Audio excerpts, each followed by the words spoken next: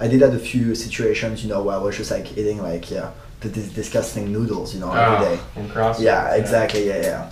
Not even from Crossroads. Worse, you know, like the what they call the ramen. Oh, top ramen. Uh, ramen, yeah. I was Yeah. I was running on that on five days. Like I was starting to feel the acid. So I, there were like physical consequences.